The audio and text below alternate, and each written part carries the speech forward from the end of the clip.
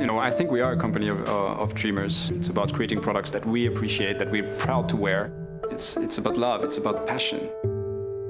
When I meet the owners of, Moser watches, what I realize is not only they want something very unique um, that not everybody else has, but also they want true value.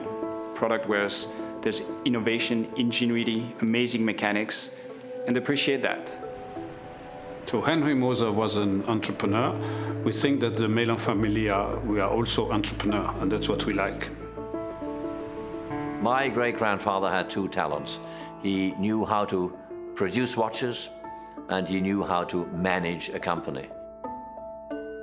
Heinrich Moser went to St. Petersburg at the age of 21. Tsar Nicholas I needed a mechanical piece to be repaired, and Heinrich Moser was the first one and the only one who could do it. What's interesting about entrepreneurialism is, I think it's what links us to Heinrich Moser, the founder of the company, links us to our family, I believe we are entrepreneurs.